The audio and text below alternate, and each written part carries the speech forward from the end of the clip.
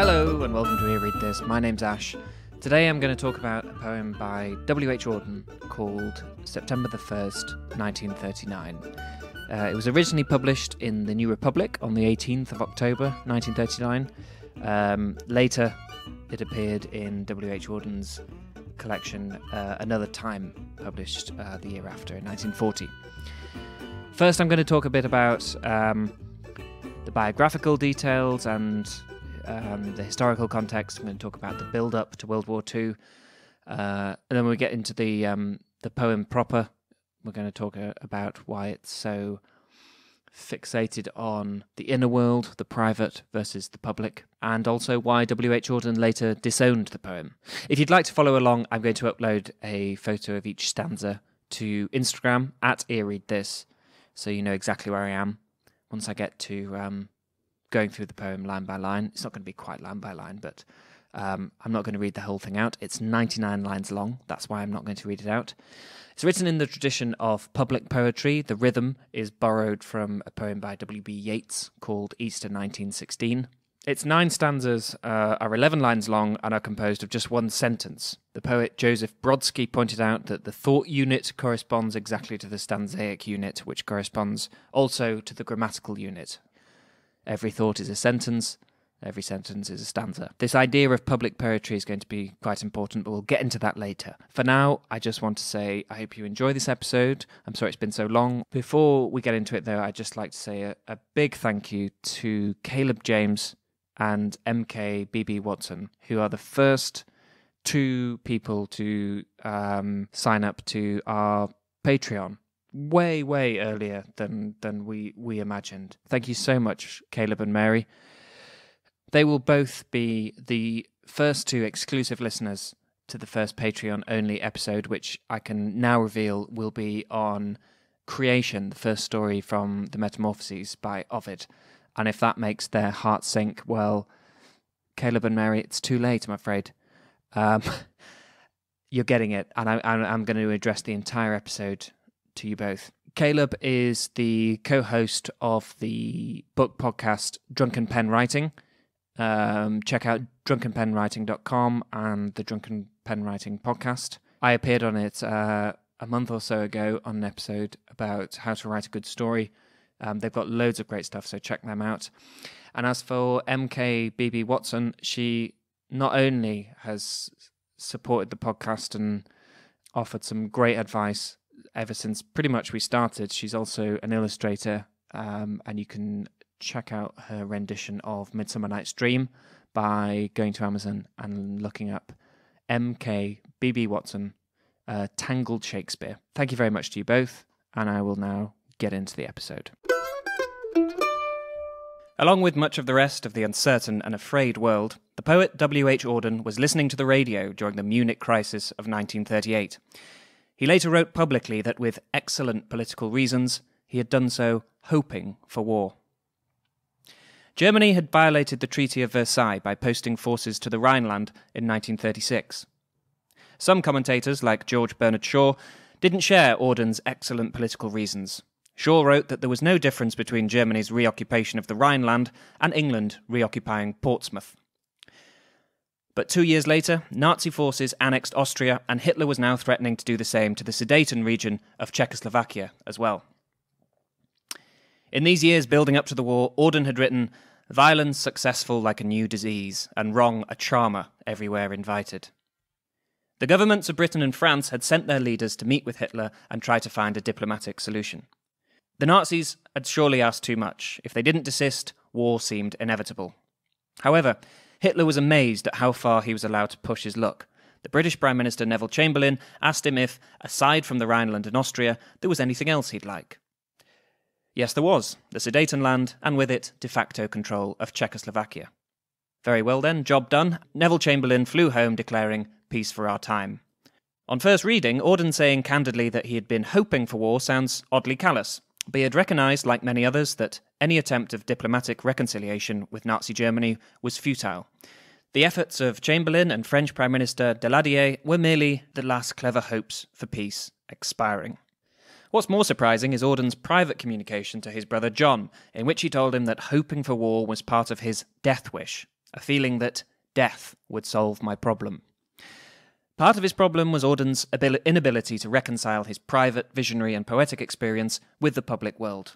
Wishing for death to solve it sounds more than callous, a dangerous, masochistic sentiment more familiar with young men in the lead up to the First World War, and not those anxious and restless young men writing in the lead up to the Second. Strange to hear coming from a poet who was sensitive and prescient when it came to the cold, controlled ferocity of the human species. Strange, too, in light of Auden's experience. A decade before, when he was in his early 20s, Auden left Britain and travelled to Berlin. It was a hectic period which saw the poet relishing the Weimar underworld of orgies and strumpets, but also one in which he said he ceased to see the world in terms of verse. In the words of Auden's biographer Richard Davenport Hines, it was a time of hard living, hard reading, and hard thinking. On this trip, he met W.H.R. Rivers, a neurologist who had treated shell shocked soldiers at Craiglockhart Hospital in Edinburgh during World War I. Amongst his patients were the poets Wilfred Owen and Siegfried Sassoon. Rivers made a lasting impression on Sassoon, as well as Sassoon's fellow poet and soldier, Robert Graves. All three of these poets were from a generation before Auden, and all three had tried to commit to poetry their experiences on the front. The attempt had forced them all to confront the tension between a beautiful world and a true one. Sassoon had struggled with the image of himself as a warrior poet. Graves had published his war poetry during the 20s written a memoir called Goodbye to All That, and afterwards, true to his title, disparaged his war poems and didn't include them in any future collections. I am not concerned with poetry, Wilfred Owen wrote, but war and the pity of war. The poets that followed them, the poets of the 30s, lived in times that Auden himself had christened the Age of Anxiety. It wasn't hard to see how that applied to the population as a whole, as indeed it isn't when that phrase is appropriated for any other age. But the specific anxiety for the poets living in the shadow of the Great War was its radical effect on poetry. Auden's early poems were noted for their peculiarities of style. Shorn of punctuation, they read like dispatches of great urgency, written without a word to lose. He didn't believe that it was a requirement of poets to be warriors. I shall be a bloody bad soldier, he said of his trip to Spain during the Civil War. However, he did believe that in critical times, poets needed direct knowledge of major political events. Rather contradicting this attitude, in January 1939, as Europe was sliding towards war, Auden and Christopher Isherwood left for America. It was a move that attracted bitter derision that Auden was still coming in for long into his life. In 1951, Evelyn Waugh sneered that Auden fled to America at the first squeak of an air raid siren. According to John Fuller, the novelty of the new country for the two poets lay principally in its providing a fresh context for the universal problem. But the problem of money was also a factor. Isherwood and Auden embarked on a whirl of social dates, shamelessly hunting for wealthy patrons as well as writing and giving readings. Hunting for patrons at a time like that, can you imagine anything so tasteless? Patreon.com slash read this. Across the Atlantic, Hitler invaded Czechoslovakia. In March, the governments of France and Britain gave guarantees to Poland that if in the case of a German invasion, they would offer their full support. I'll brew them a devil's potion, fumed Hitler when he heard the news. On the 6th of April, a blonde haired 18 year old called Chester Kallman and his blonde haired friend Harold Norse went to see a reading given by Isherwood Auden and Louis MacNeice. Throughout the night, the two blondes sat in the audience and flirted with Isherwood, who afterwards gave Norse his address. Kallman somehow acquired these details and went on his own to pay a visit to the famous poet. But instead, it was Auden who opened the door, commenting to Isherwood, It's the wrong blonde. The wrong blonde, Chester Kallman, would turn out to be the great love of Auden's life. Hitler was also amassing young blonde men and spent the summer preparing for war, signing a non aggression pact with the Soviets and devising a propaganda pretext for invading Poland. He intended to start his war on the 26th of August. Troops were ordered to advance across the Polish border, but then just hours later were called off. The reason being that Mussolini had surprised Hitler by saying he was in no position to offer military support. As Hitler raged, the war was on hold for just a few more days. Travelling from California to New York with Kallman on the 28th of August, Auden wrote in a letter There is a radio in this coach, so that every hour or so one has a violent pain in one's stomach as the news comes on. By the time you get this, I suppose, we shall know one way or the other. On the 30th of August, according to Max Hastings, the curtain rose on the first appropriately sordid act of the conflict.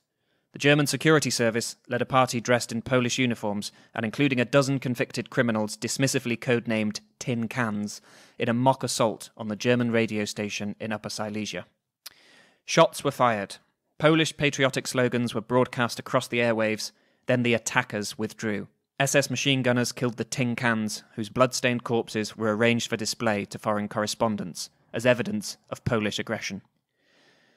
Around half four in the morning of the 1st of September, the first official shots of the Second World War were fired.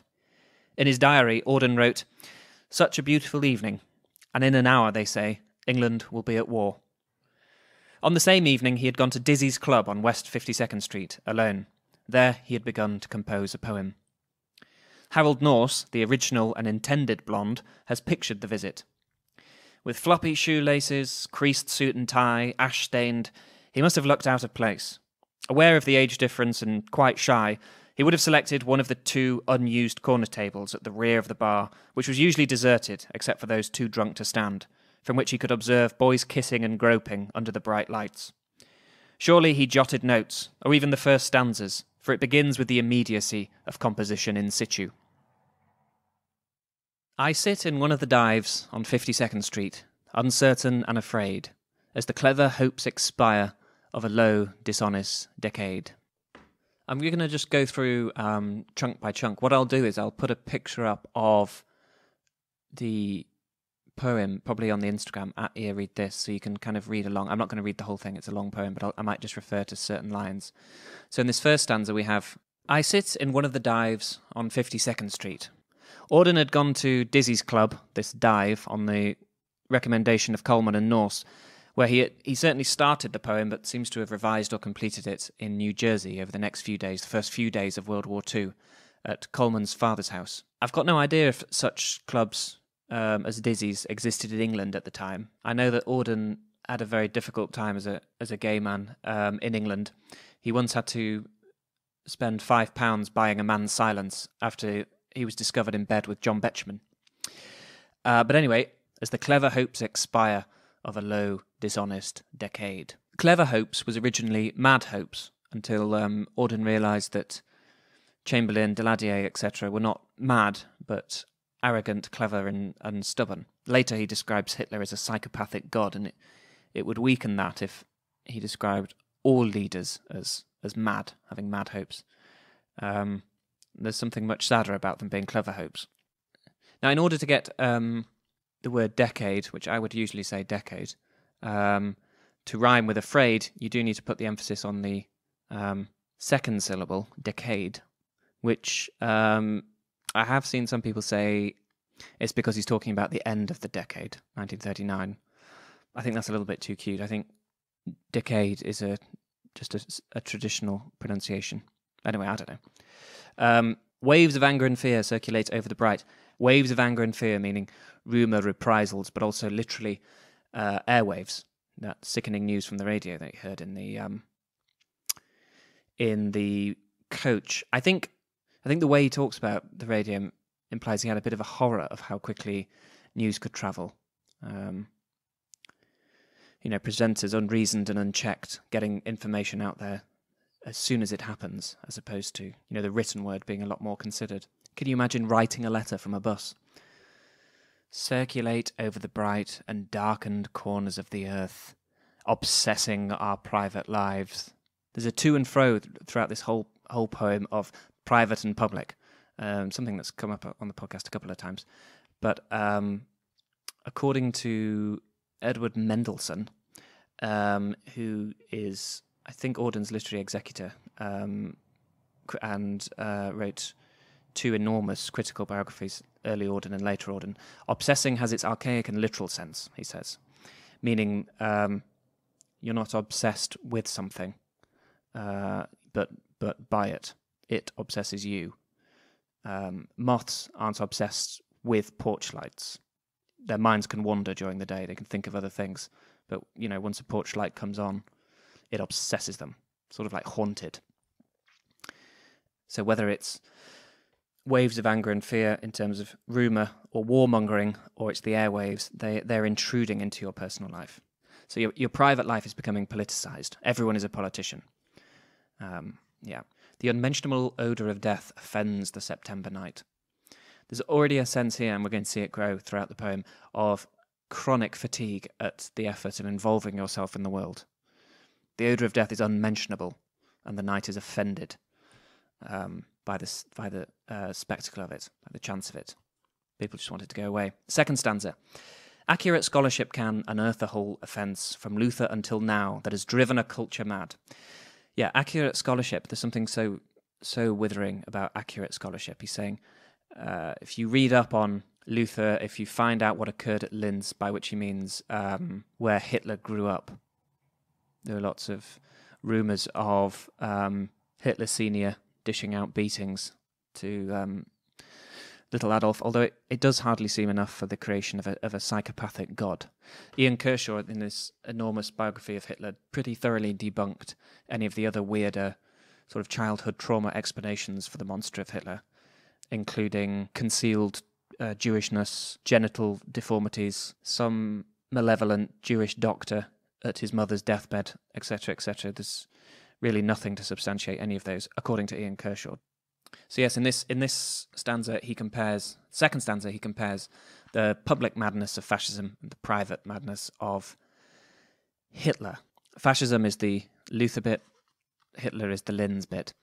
From Luther until now, that has driven a culture mad. He Auden wrote in um, his preface to Poets of the English Language the dualism inaugurated by Luther, Machiavelli, and Descartes has brought us to the end of our tether, and we know that either we must discover a unity which can repair the fissures that separate the individual from society, feeling from intellect, and conscience from both, or we shall surely die by spiritual despair and physical annihilation. Yeah, the landscape of this poem is very much those fissures separating individual and the society. Incidentally, on Julius Streicher's, um, he was the editor of Der Stürmer, um, on his birthday in 1937, the city of Nuremberg presented him with a first edition of Luther's On Jews and Their Lies, um, which goes some way to saying why. Um, Auden included um, the phrase from Luther until now, but I don't really think that um, Auden's being particularly earnest about saying go and go and look up what has driven a whole culture mad from Luther until now and find out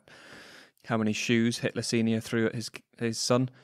It sort of it doesn't matter. He says, uh, "I and the public know what all school children learn: those to whom evil is done do evil in return." He's saying that it's staring you in the face. It's not. You don't need any accurate scholarship to understand how this has happened. Note the distance between I and the public. Auden's definitely placing himself outside of the the public. He is he's not one of them, and that that'll get an even stronger sense of that as we go on. There's something um, sort of sinister and kind of sing song about that. Um, all school children learn those to whom evil, is done do evil in return. He's chosen to give it that kind of sin song rhyme, I think, because it's it sounds then that it's been drilled into them, almost that it's been a, a commercial. We'll come back to commercials because there's a um, interesting historical connection to a infamous TV commercial. This line um, is not the poem's most notorious line. However, it was it was it caused a bit of a stir. Someone wrote into the TLS when this poem was first published, calling it a, a meretricious piece of work that, despite its seductive cadences, should be consigned to the scrap heap. Um, he particularly hated uh, the, these lines: "Those to whom evil is done do evil in return." and called them a, a ringing apologia for the Third Reich as a product of Versailles.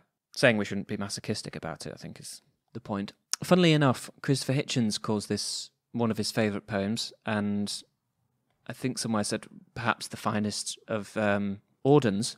Auden certainly didn't have the same view, but I, it seems strange because um, if anyone's familiar with Christopher Hitchens, they'll know how much he despises the idea of those to whom evil is done do evil in return, um, as evidenced by his scorn for anyone with any masochistic sentiments about um, 9/11. There are some 9/11 connections coming up as well. Um, this sounds unscripted, doesn't it? But it's all knitted together. It's not. It's a bunch of penciled notes, and I'm uh, I'm missing loads out.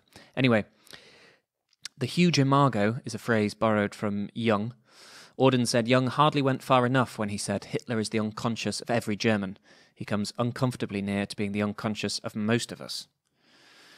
You would think this was even more shocking than uh, those to whom evil is done, etc. Um, third stanza.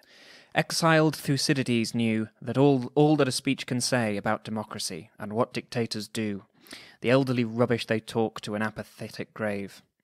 Expanding on the point before about accurate scholarship, um, saying that it's all there in the book of Thucydides from centuries and centuries ago. The book he's actually referring to is um, Thucydides' critique of the Peloponnesian War, in which he talked about the nature of dictators, but also that of the people, and found them not just complacent but intellectually dead. Again, we have this horrible sense of um, things being inevitable and completely out of our control, the habit forming pain, this management and grief, we must suffer them all again. Because we're helpless, because we have um, because the nature of dictators hasn't changed, and we must suffer them all again. The the Enlightenment will be driven away. Um, the Enlightenment being a reference to the Enlightenment of the 17th and 18th centuries, a great boom of reason and individualism, which profited scientific advances, philosophic advances, artistic advances, but dictatorship will um, will spell goodbye goodbye to all that in making individuals subservient and, and collectivized. Fourth stanza. Into this neutral air where blind skyscrapers use their full height to proclaim the strength of collective man. Neutral air, like um, like waves of anger and fear, being both rumors and um, airwaves. Neutral air, the neutral air of America, currently not involved in the war, but also neutral in that kind of apathetic way. Um, there's a bit of a, a, mocking tone again to this blind skyscrapers that using their full height to proclaim the strength of collective man. Um, what good is the full strength of collective man if it hasn't, um, if it's blind to the international wrong and its own its responsibilities to correct it? Out of the mirror they stare, imperialism's face and the international wrong. Not just um, not just a rallying cry for, for global responsibility for people to not stay neutral, but also a bit of a um, personal comment. He's he's being he's able to talk about whole countries looking in the mirror as well as um, individuals. He once said. Uh, there's a bit in Mendelson, which I've got here. He observed to friends how common it was to find a dedicated anti fascist who conducted his erotic life as if he was invading Poland. Next, we have more of this sense of anonymous, homogenized population, faces along the bar, clinging to their average day. There's a very sort of childish feeling to this whole whole stanza. Um, it ends with saying, "Use any convention possible to to pretend things aren't as bad as they really are." I love this bit. All the conventions conspire to make this fort assume the furniture of home. On one hand, saying neutral or not, this place is already a fort. But at the same time, it has that has such a lovely, uh, it's kind of kiddish ring. You think of making a fort out of furniture. Also, rhyme wise, faces along the bar cling to their average day. The lights must never go out. The music must always play. This is very sort of ring around the roses type stuff. And then it goes, all the conventions conspire to make this fort assume the furniture of home. There's some similar noises there, and there's some alliteration, but uh, the rhyme's totally gone. It's like the furniture's actually not that comfy. Okay, next. The windiest militant trash. I think that's my favourite line of the poem. One one hand utterly um, withering about the uh, what important persons shout, windy, militant trash. But also visually, it, it summons up a kind of uh, scrap blowing across a wasteland, apocalyptic, bombed out, you know, newspapers dotting across yesterday's battleground. Windiest militant trash. Love that. So this uh, this stanza has a reference to Mad Nijinsky, the ballet dancer Nijinsky, and oh god, Nia- Diaghilev. Diaghilev? Sorry about that. Diaghilev. That's as good as I'm going to get. I don't know. Um, Auden had read Nijinsky's diary, which um, he had written shortly before losing his mind, in which he attacked his former lover, Diaghilev, and said, uh, Some politicians are hypocrites, like Diaghilev, who does not who do who do not want universal love, but to be loved alone, which um, Auden appropriates for the last lines of this stanza. I think this is the bit that makes it quite clear that really what he's fearful of is is the idea of everyone being a politician, everyone being politicized, everyone having this um, uneven or, or, rather unfair desire, everyone desiring love more than they're willing to give it. It's not that it's just politicians who um, do that. It's just that the politician is the most extreme result. He wrote, um, Auden wrote of his early days, of, of his poetry, sort of university era poetry. The enemy was and still is the politician, i.e., the person who wants to organize the lives of others. It's worth pointing out that um, Hitler, when he was writing of his um, early days, and his own rise, wrote in Mein Kampf, There is no making pacts with the Jews. There can only be the hard either or. I, however, resolved to become a politician.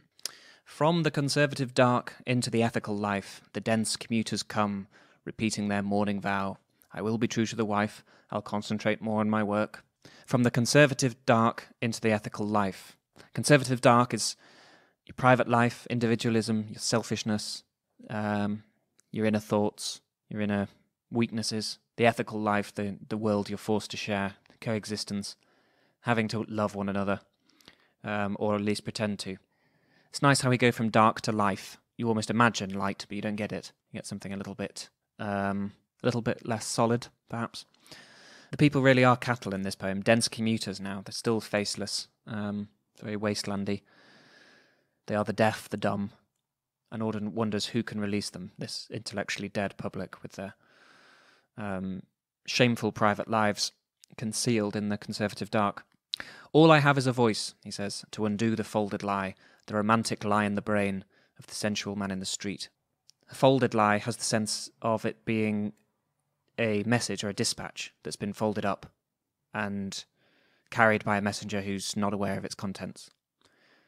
So saying his voice will undo this romantic lie.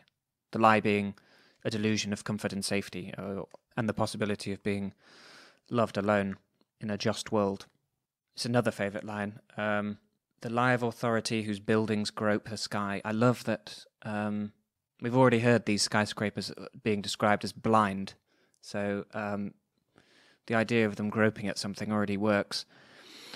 But authority groping at something as superior and intangible as the sky is just perfect. Groping at the sky, grasping at it for success, but also not being able to cling onto it because you know it's, it's the it's the sky. Now we come to the most notorious line in the poem, possibly in Auden's canon. Um, it's the last line. Oops, it's the last line of um, this penultimate stanza. We must love one another or die. Now it has had a varied response over the years. Um, let's start with uh, Auden's response. He said, rereading a poem of mine, 1st of September 1939. Oh, he calls it 1st September. I thought it was called September the 1st. Oh, it doesn't matter. After it had been published, I came to the line, We must love one another or die. And I said to myself, That's a damned lie. We must die anyway. So in the next edition, I altered it to, We must love one another and die. This didn't seem to do either, so I cut the stanza. Still no good. The whole poem, I realised, was infected with an incurable dishonesty and must be scrapped. After which, so from the from the mid fifties, he began to refuse permission to editors asking to anthologize the poem. Um, and after the uh, and die variant appeared in fifty five in an anthology of New American Verse, strange to think he was anthologized in American Verse. It shouldn't be, but kind of is. Um, he allowed it to be printed just once more in the Penguin Poetry of the 30s, um, but he he added a, a, warning to readers. Mr. W. H. Auden considers this poem to be trash, which he is ashamed to have written. I hope you don't feel duped. But it it, um, it was repurposed and it had a it had a wide and varied impact. This line, E. M. Forster wrote, because he wrote he Auden because he wrote we must love one another or die. He can command me to follow him. Now we come to the the um, the TV commercial thing I mentioned earlier. Lyndon B. Johnson used a variation of this line. Um, I think he said, "We must, we must love one another, or we must die," in uh, in a campaign speech. The audio of which was used in a infamous um, TV ad, sort of an anti-war one. I think it's called Daisy. I'll I'll put a link to it on our social media stuff. But it features a, a little girl counting petals off a flower, and then it cuts to um, a, nu- a nuclear explosion. I don't know why I laughed at that um, and Lyndon B. Johnson saying, "We must love one another, or we must die." Auden was horrified, but um, made no public comment. He once, I think, I'm not sure if it was in reference to this or not, but he once said, "One cannot allow, one cannot let one's name to be associated with shit." So then we come to the last stanza. Uh, we end on a kind of note of submission. It sounds very prayer-like, and w- what he meant when he wrote that to his brother about his um, a death wish to cure his problem was that in his despair, Auden was was looking to world events to solve his personal problems, and in '39 they did.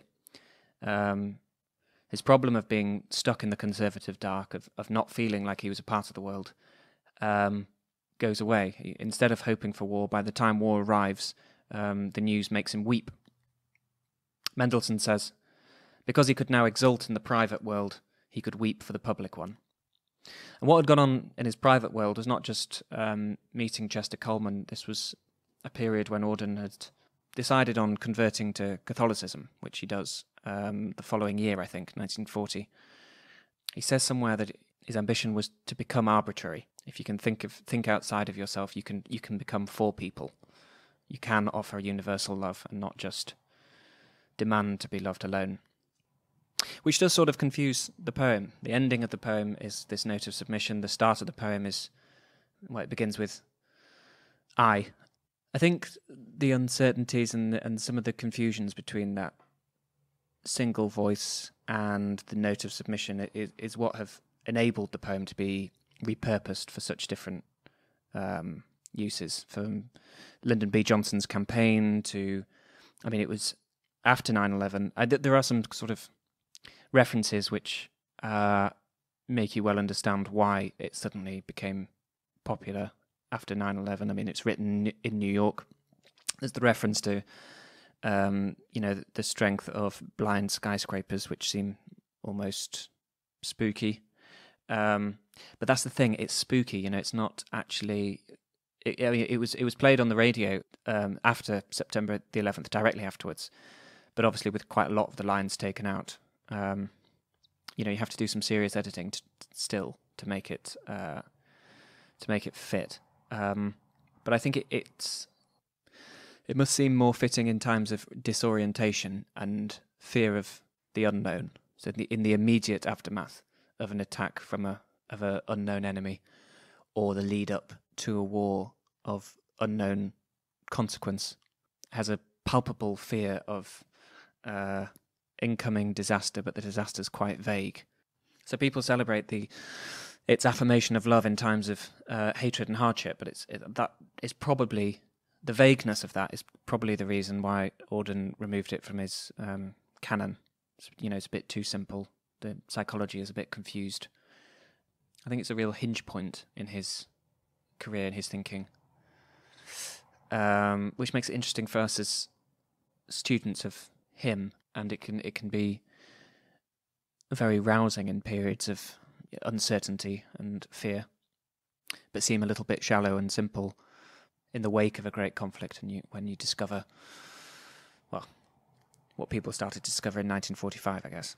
Gary uh, says poetry that attempts to engage too specifically and polemically with politics is not usually the poetry that lasts. As an engaged work, a rallying cry of defiance to Hitler um, September the 1st, 1939, falls short, but as a meditation on the darkness that infects the human condition and a haunting description of what it felt like to watch the world collapse from the neutral air of New York, it remains strange and alive. So, yeah, says that a lot better than I said it. As for Auden's last work on, his, on, an, on this poem, he said, I pray to God I shall never be memorable like that again.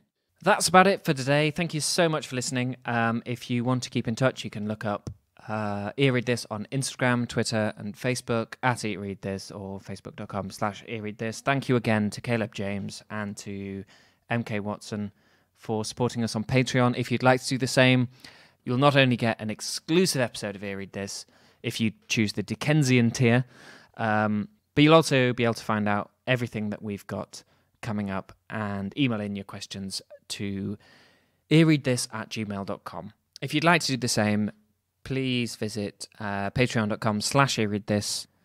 If you'd like to support the podcast in other ways, please consider uh, leaving us a review on iTunes or just liking us on Facebook and that kind of thing.